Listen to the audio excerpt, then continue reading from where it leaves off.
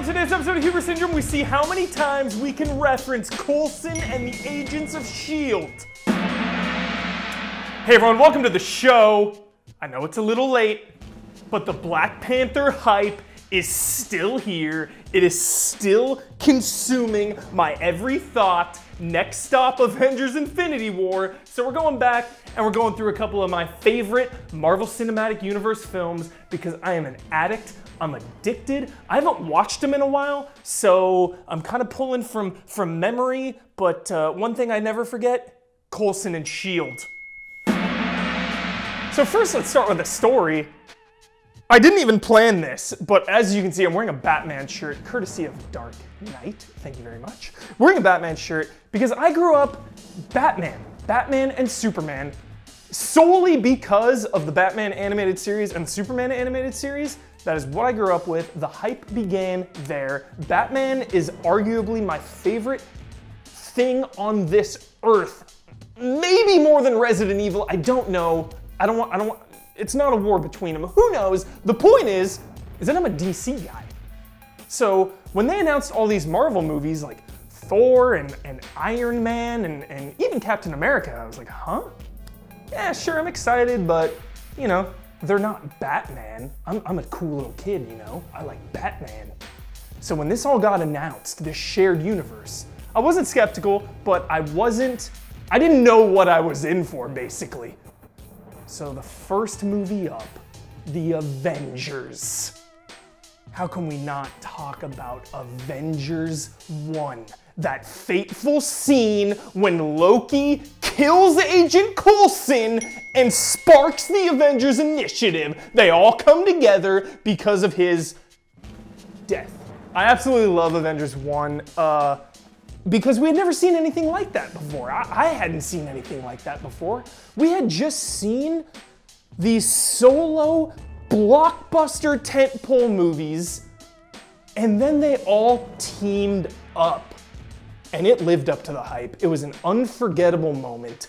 I'll never forget. How many times are you watching like USA or TBS and it does that one Avenger shot when they're all there? How many times have you seen that shot? Ask yourself. Next on the list, when the obsession became lethal. Winter Soldier. Yo! Winter Soldier. A superhero movie I want to see with my dad. It's got Robert Redford, the man, the myth, the legend. Winter Soldier really kicked off the current Marvel vibe. Well, now it's like cosmic and space, but phase two there for a while was all about weapons tech. It was this spy thriller grounded in reality. You know, it, it was it was barely a superhero movie. I know it was, but still, it was. It had that that sh those shades of real world people, and I loved it for that. And I and I love weapons tech, by the way. You know who really loves weapons tech? The Agents of S.H.I.E.L.D. Winter Soldier is when Agents of S.H.I.E.L.D. got nuts because all the Hydra agents intercepted S.H.I.E.L.D. and took it over from within. Some insane plan. S.H.I.E.L.D. was compromised, they were destroyed. And how can we not bring up my favorite character in the whole MCU, my man Bucky Barnes, the Winter Soldier himself. Such a great character arc. Coming back all the way in the 40s with Steve Rogers, going to the, the, the future on ice as the Winter Soldier, some tragic stuff in Civil War. Uh, you know, now he's basically Geralt of Rivia after the events of Black Panthers, so we'll see what happens with the White Wolf. Not Geralt, Buck Bucky Barnes is the White Wolf now. Move over, Geralt. Next on the list, this feels like cheating, I don't know, Spider-Man Homecoming. Wanna know why this is on the list straight up? Jolly cooperation, easy alliance, craft before greed. Sony. Here you go, Marvel. Here you go, you can make a movie with, with Spider-Man, sure. Spider-Man in the MCU this late in the game. I can't even believe this happened still. Uh, and, and let alone, it's incredible.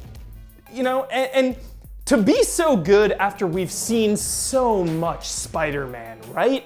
Like, when Iron Man and Thor and all that stuff came out, I hadn't experienced much of it, but with all the Spider-Mans, one, two, three, Amazing Spider-Man, all the Spider-Man video games, there's so much Spider-Man, but they still managed to make it fresh and epic. Also, the weapons tech in there is incredible. Love it. Really love the twist with Shocker there. It's basically just like an alias, uh, but again, some of those weapons like Toombs's uh, sick jetpack.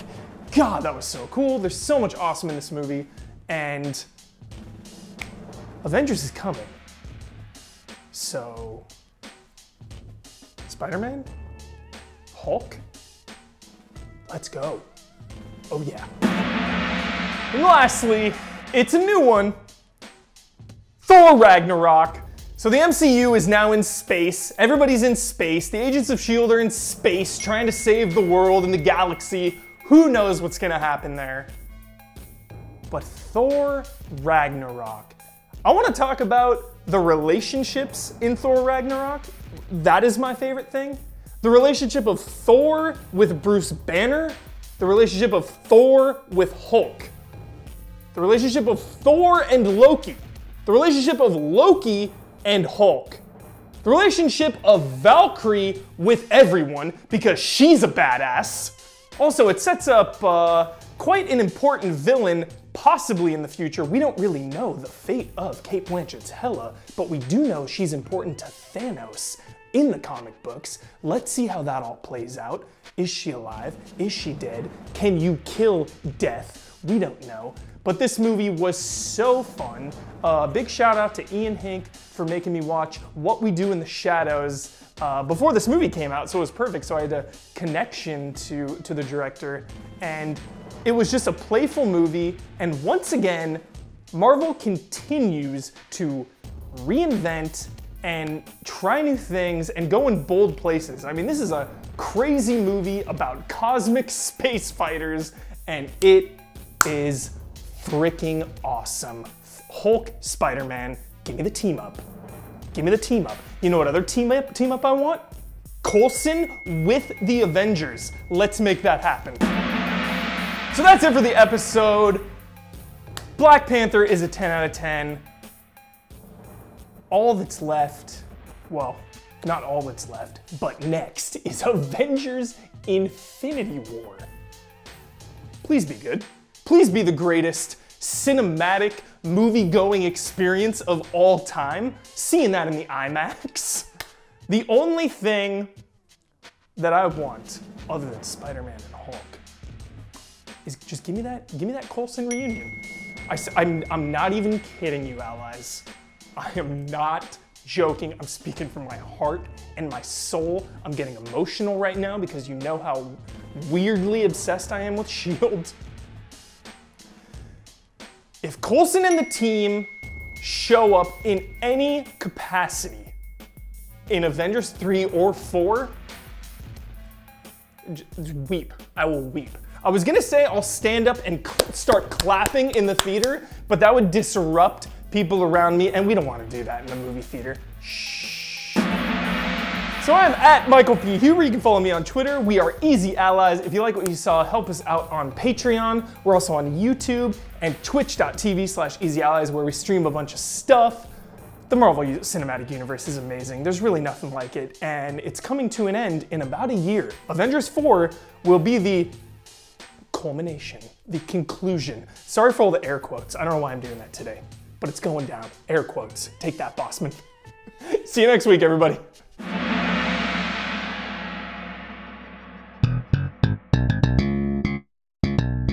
Time for the syndrome. I just right now found out that Agents of S.H.I.E.L.D. is ending after this season. It's bittersweet. We're in bonus time now. We're on season five. I didn't know if the show was gonna make it to season four, let alone five.